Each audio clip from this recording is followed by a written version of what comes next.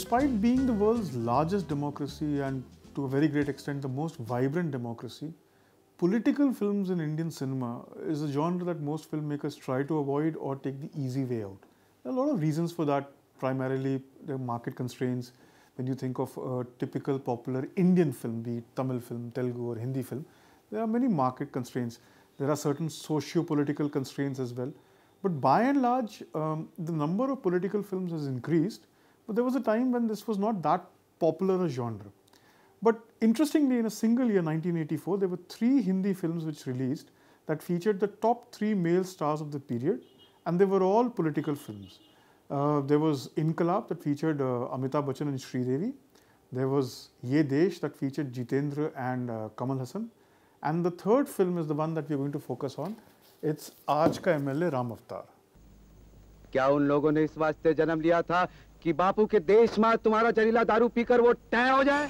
It's a remake of a Telugu film of the director Dasari Narayana Rao in fact he acted as the lead character in his own Telugu film so this is the film we going to talk about so what makes this year a very interesting year 1984 is that this was the year where you had the three biggest male stars Amitabh Bachchan Jeetendra and Rajesh Khanna working in political films, films that had a political overtone.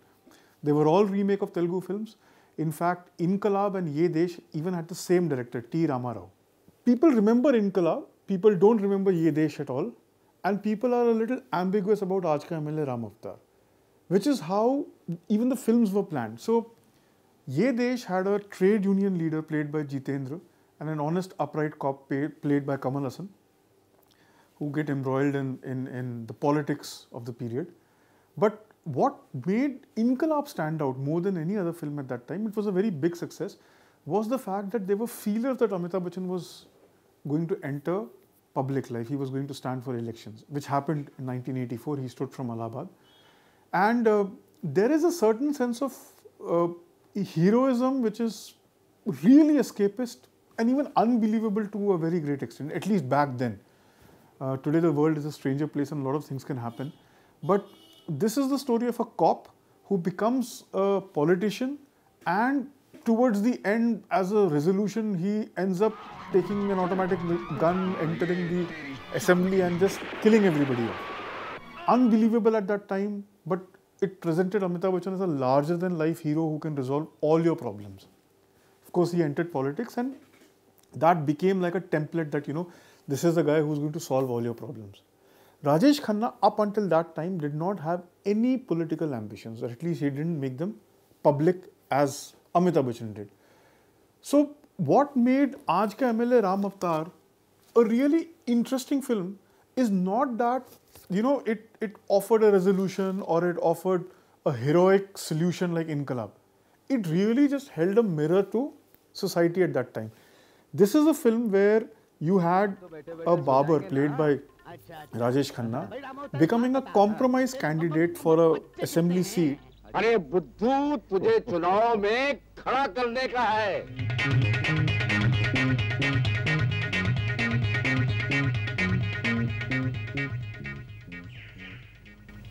काहे के लिए So they very smartly they, they say that okay we'll take this random barber Ram Avatar played by Rajesh Khanna and we'll make him the MLA and he'll win and then he'll be he'll be our guy there. What they don't anticipate is that this guy ends up becoming their boss. Now, how that happens, why that happens, is something which was very, I won't say very common in, in political spheres of that time, but it was something which was believable. जनता vote देकर सब MLA को चुनती है इसलिए सब MLA बराबर फिर एमएलए एमएलए में फ़र्क क्यों इसलिए हमने सबको मुख्यमंत्री बना दिया उप मुख्यमंत्री सर हाँ मुख्यमंत्री तो हमें उप मुख्यमंत्री बना दिया So, in 1967 in Haryana, there was an, a politician uh, by the name of Gaya Lal who changed his political affiliation three times in a single year. And that's what gave ri- rise to that idiom, Ayaram, Gayaram in politics when you defect a lot. 1985 is the year where the anti-defection law is uh, comes into play, and this is a film which comes before that. Again, interestingly, 1983 is the year where N.T. Ramarao becomes the chief minister, one of the biggest superstars of Indian films of that time, becomes a chief minister of a state like Andhra Pradesh. uh, his party, the Telugu Desam party, sweeps the assembly polls. It, it thwarts uh, Congress forever. And the actor enters into mainstream politics. That is what is trying to be replicated in, in films like Inkalab or, or the original of uh, Aaj Ka Avatar, which was MLA Yeddu Kundalu.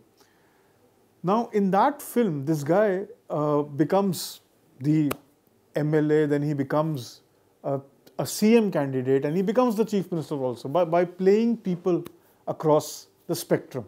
He has, uh, he sets out making files on each of his MLAs and you know party members and he, he हम ये जानना चाहते हैं कि हमारे मुख्यमंत्री बनने से पहले जो जो मिनिस्टर हुए हैं ना उनसे पहले वाले मिनिस्टर, और उनसे पहले वाले, और उनसे पहले वाले मिनिस्टर। उन लोगों की पोजीशन मिनिस्टर बनने से पहले क्या थी? जब मिनिस्टर बने तब क्या थी? और अब जब मिनिस्टर नहीं है, तब क्या है? यानी कि उनकी जायदाद, प्रॉपर्टी, उनके रिश्तेदारों की भाई बहन माँ, बीवी, रखेल, इन सब की जो जायदाद है, पेपर पर क्या है, बगैर पेपर पर क्या है, नामी क्या है, बेनामी क्या है? हा? और ये जो दूसरे हैं ना, हमार बंधु, हमार मिनिस्टर लोग उनकी पोजीशन मिनिस्टर बनने से पहले क्या थी और अब क्या है ये हम जानना चाहते हैं पचास पर एक मिनिस्टर हैं इन सब की एक एक की जन्म कुंडली हमारे पास लेकर आइए समझ गए तो एक एक के डब्बे में डालकर लेकर आना कितने डब्बे हो गए uses power as much as possible to play people around. Uh, his wife, played by Shabana Azmi in the film, and people who are close to him. Uh, Shatrughan Sinha has a very nice cameo in the film. He plays this revolutionary guy called Kranti Kumar, who is the voice of conscience for Ram Avatar. But as the film progresses and as Ram Avatar becomes more powerful, people like Kranti Kumar and then uh, the, the veteran political uh, voice of reason played in the film by A.K. Hangal, Bal Mukund Tripathi. They're all pushed aside. Now, there's a lot of real life incorporated into this film. So this kind of politicking was very common in, in, in, you know, in states like Andhra where everything was about numbers. So that rubs off on the narrative of the film. But more than anything else, what makes the film stand out and even relevant nearly 30, 35 years later is the 10 minute climax. Um, Ram becomes a, a larger than life character. He does not care two hoots about anybody else. He just keeps, in fact, there's a line that his wife tells him that the more you become powerful, the more powerful you become, the more you're forgetting where you're coming from. I mean, you're a simple Baba for God's sake, and destiny has put you at this place, so don't take yourself too seriously. But this guy just goes on a rampage. Now, in the climax, it's very nice, you know, it, it's a, a public ceremony and he has to give a speech and there's a song which happens and everybody is saying that, you know, kursi chodo, kursi chodo. Finally, this guy, Rajesh Khanna, and this is where, you know, Rajesh Khanna, the superstar, comes into. It's an interesting thing that Rajesh Khanna's own persona rubs off on the character as the film progresses. So the more successful a politician he becomes, the more nuanced, you know, the, the character becomes and those iconic Rajesh Khanna gestures and his, his signature line, dialogue delivery starts coming into play. Vote भी तो तुम्हारी बहन और बिटिया है ना उसको किसी को भी उठा कर दे देते हो? अरे भाई, ये वोट तो भरोसेमंद और ईमानदार को देना चाहिए। मगर आप लोग क्या करते हैं? बेचते हैं अपना वोट। वोट का ब्लैक मार्केट करते हैं। जिसने ज़्यादा पैसे दिए, उसे दे दिया। वोट तो ऐसे बांटते हो जैसे वोट सड़क पर मिलता है।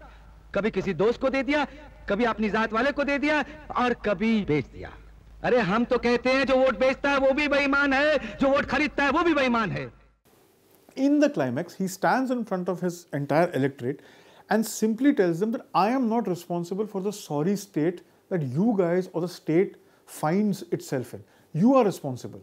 How dare you vote for somebody like me who's an illiterate? In fact, in the film, he's conferred a, a, a doctorate once he becomes the chief minister. So he says that if you don't care about your future and you vote people like me who are basically illiterate people and you give us so much of power, then do you really expect us to do the right thing? He says, I will not resign. I will not give up. I am not going to go. You have to decide what to do. So here is the sitting chief minister who is actually trying to propagate the, the electorate against him. And he has no qualms about doing that. That, that the dialogues of the film were written by Dr. Rahi Masoom Raza. And it's interesting that even now when you when you hear the 10 minute monologue, it's so it is so reminiscent of what is happening or what has happened in you know political corners of this country that you are aware of. So it's something which is not cinematic anymore, it's not filmy anymore. It becomes too real and too close to reality. The, the film was a success, but not that big a success as Inqilab. And sometimes, you know, what happens is that films like Aaj MLA Ram Avatar, which are about the times that they were made in, they capture the zeitgeist brilliantly, often tend to get overshadowed by the films which were released around them. So, Inqilab and subsequently Amitabh Bachchan's decision to enter political uh, uh, life and, and, and join politics overshadows everything else. That's why you don't remember Aaj Ka MLA Ram Avatar. Of course, it's a the treatment of the film, as, as you can see from you know a, a lot of iconography in the film. The treatment of the film is a very B film kind of a treatment. There are standard tropes, there are standard dialogues. There's a character played by Asrani who's a hairstylist. अ, आजकल इधर rate क्या चलता है rate जी मुंडवाने के दो रुपए side cutting के चार रुपए समर कटिंग के आठ रुपए और मूछो डाली ये तो के किसका रेट बताता है वही रेट जो आपकी समझ में आता है आप सलून चलाते हैं ना You know, so you have a very typical Nai uh, barber playing the leads, and you have a hairstylist who's coming up in the 80s. So there are these tropes which Dasari Narayan Rao uses very brilliantly. It's very interesting that Dasari Narayan Rao himself had was was politically very charged and very aware. He later joined the Congress and went on to even become a minister uh, in, in the state government. Uh, the guy made 100 over 150 films across Telugu and Hindi, and I mean he practically created the aura of Jitendra in Hindi cinema of the 80s. So the whole 1980s Jitendra South uh, remake phase that uh, Jitendra had was somewhere sculpted by the likes of Dasari Narayan Rao. Uh, it's also one of the very rare Hindi films which has uh, a song dedicated to uh, a god who's very, very popular in South India, but not so much in North India.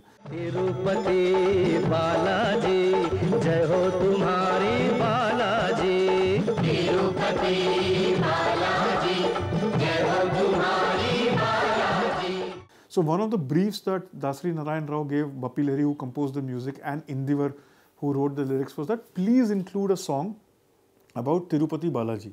So uh, when uh, Ram wins the election, and becomes the candidate who's going to swing the destiny of the state, there is a precursor to the song where they say that कहाँ है वो अपना राम अवतार? And they से कि वो तिरुपति गया है. And then the M L A और the M P whoever it is the political guys is Tirupati?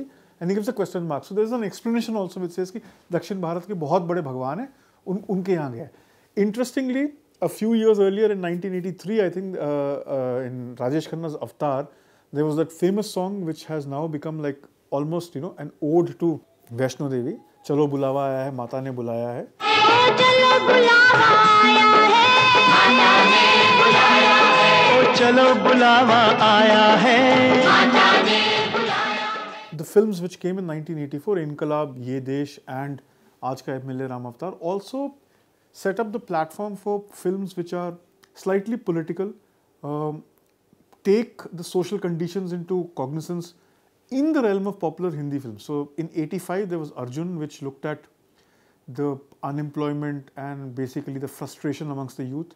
Um, 1986 had New Delhi Times.